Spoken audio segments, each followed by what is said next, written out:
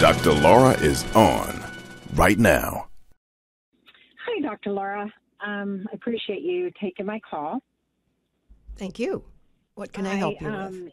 Was just yeah, I was just listening to your program as I'm tootling around doing some errands, and the caller you had before this gentleman, the lady spoke about having a bullseye on her sister.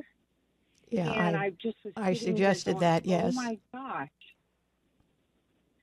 I'm that sister. Like my sister has a bullseye on me, mm, and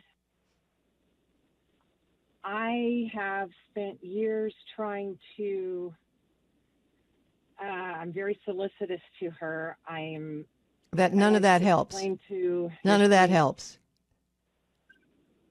None of it helps. Being kiss assy, giving money, tolerating abuse, none of it helps because it has nothing to do with you. It has to do with her envy, her disappointment, her frustration. So, knowing your sister started from the age of two, what was different in your personalities? What was different in the way the family handled the two of you? What was the dynamics? Just take me, take me back. Take me way back. um, I'm the youngest. She's four years older. I have a. We are very different in our personalities. I'm very outgoing. She's not. Um, we've made different, you know, life choices. Um, How did the you, you- got me from two not. years old to twenty already? Can you hover around? Oh. I um I think as the eldest, she probably um and my mom has said so. My she did not nurture my sister as much. Um my sister, my mom in my mom's words to me because we've had conversations about it. She said your sister was hard to cuddle. Your sister pushed me away. She just wasn't as easy as a baby. Um, things like that. Uh, Okay, slow down. Okay, during slow down. Yeah. Slow down. That's frankly all I need because I understand what comes from that. That's why you have a bullseye on your back. And doing nice things just is irritating to her. My goody two shoes sister's doing nice things again. It's irritating. It doesn't help. It actually hurts. But imagine saying to her, You know, I've been thinking about our lives. And from day one, I got more love and affection and attention and all this stuff than you got. How did you survive it? How do you live with that hmm. discomfort? In other words, that's it's in her. Now, the bit about holding a baby and the baby, that happens. Some babies are cuddly, just like some puppies are cuddly, and other puppies go, put me down or I'll bite you.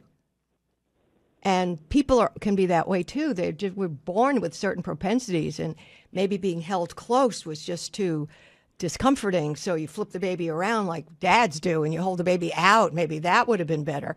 So who knows? But the reality is that she envies everything you.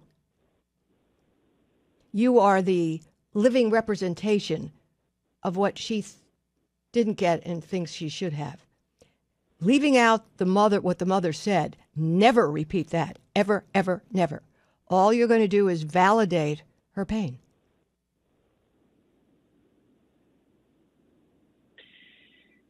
I think that's that's what I need to do instead of um instead of just always trying to make her feel better about herself. I, I mean, I I just in doing that you look like the goody two shoes again all you do is make it worse. and then she hates me. yes Yes, and then she and then she hates me for that. right so now you're and going to then go I shake my head. I can't figure out what I'm doing. you're irritating her by showing her again the difference in the two of you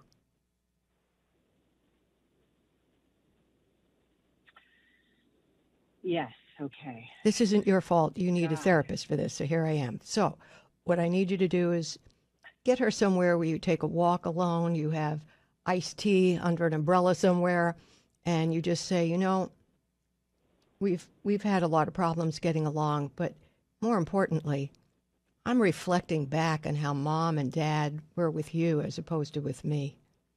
And I think if they had been so kissy, huggy, supportive, blah, blah, blah with you and not me, I don't think I'd like you. and I was thinking, this, you know, we're not just like two blank slates. We had different experiences being kids in this family. Now, I think all you need to do is a little bit of that to prime the pump. She will then drop in and start telling you from her point of view how right you are.